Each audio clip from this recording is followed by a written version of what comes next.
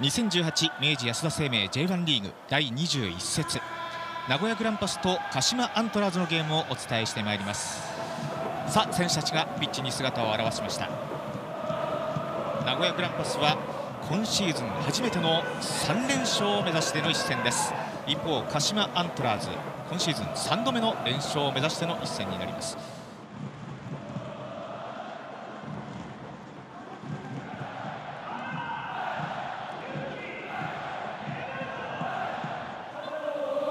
して連勝はしていますが18位の名古屋グランあっとここはミスになりました。すかさず土井。土井が行く。ミスはありません。鈴木のシュート。左足狙っていきました。奪ってからからの速い攻撃ですけど。やっぱり鈴木選手のこのシュートの意識っていうのはね非常にやっぱり鹿島にいい影響を与えてますよね、は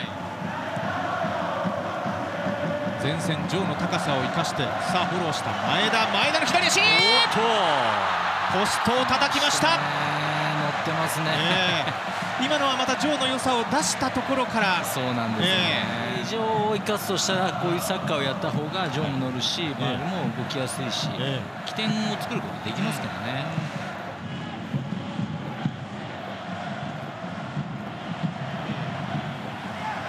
ジョー！ディフェンス。チョン・スンヒョンに防がれながら最後ちょろっと足を出していきました、まあね、相手の背中に入りながら今度前に入ってるんです、えー、ああそうですね。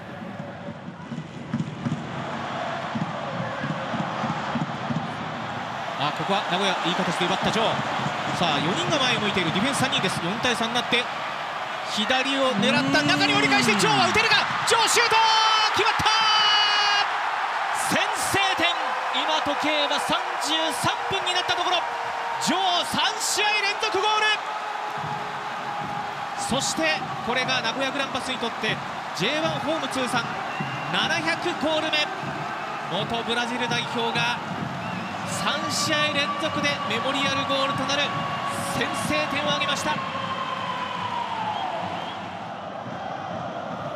さあここは杉馬、ね、さあカウンターになる。少しトラップ大きくなったがまだキープ次チャンスになる。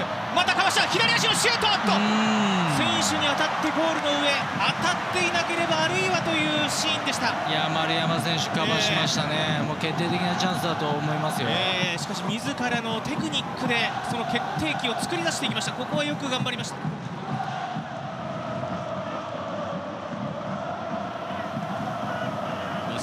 さあ奪って鈴木から土井に、土井かわして左足シュート決まったきましたね同点に追いつきました。後半の立ち上がりの5分。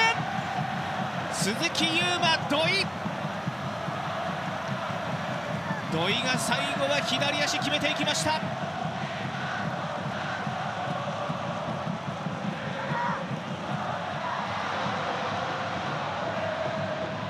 シャベルそして前田。金井が上がってきた。切り返してシュート決まった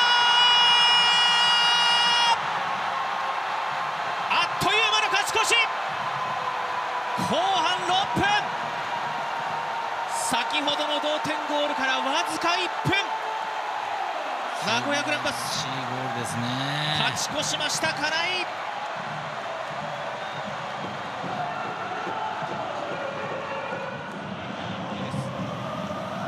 鈴木優馬はファーサイド。ニアを使って倒れましたがこれは PK ですか？PK ですか PK ですいやポイントポイントで、え。ー、西選手はいいプレーしますね。ね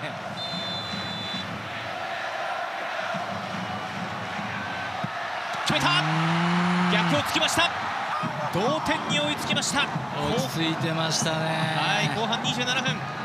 今の動き見ていたんですかね、えー、見てましたねそうですか、ね。えー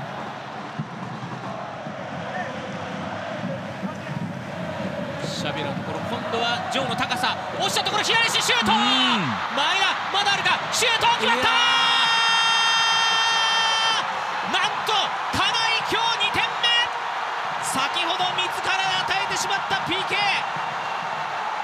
それのすぐに覆す。三度勝ち越しました名古屋。なんと金井2ゴール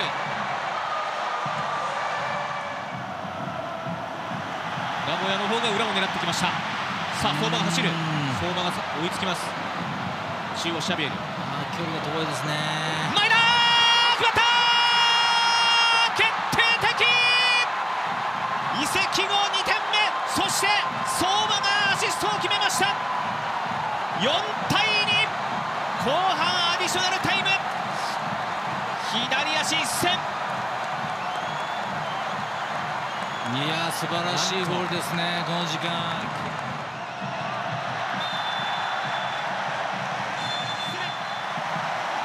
4対2名古屋グランパス。2度追いつかれましたが最後は勝ち越しさらにダメ押しと突き放して打ち勝ちました。